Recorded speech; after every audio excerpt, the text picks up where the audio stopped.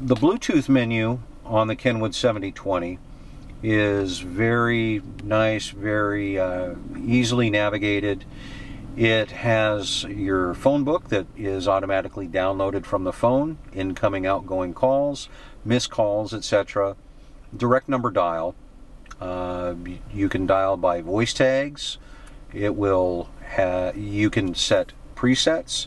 You can redial. It'll do your SMS text messaging if your phone is capable of it, uh, all from this screen. So let's say, for instance, we want to go into our phone book and find somebody to call. We hit phone book, and what's unique here is that it's sortable uh, and it's an alphabetized uh, phone book. So you want to go and find uh, uh, J. Michael Kelly. We hit J. Michael Kelly right there, and it brings up his information, his phone number. You can record a voice tag you can play the voice tags that are already recorded, or you can just hit call. And in this case, we're going to call J. Michael Kelly. In this case, we'll just hang up because we don't necessarily need to talk to him.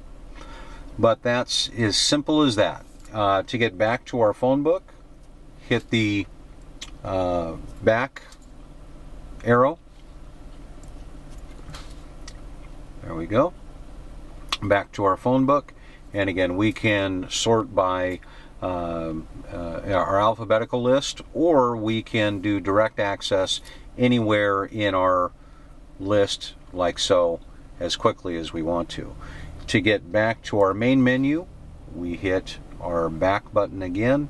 We can again go to our incoming, outgoing calls, or if we want to directly dial, we hit our direct number keypad and we can dial our calls directly from that keypad rather than the phone. To get back to our main menu again, we have our presets that if you have a, uh, a phone number that is uh, constantly dialed, you can go ahead and enter that into memory and then have it readily available directly from that screen.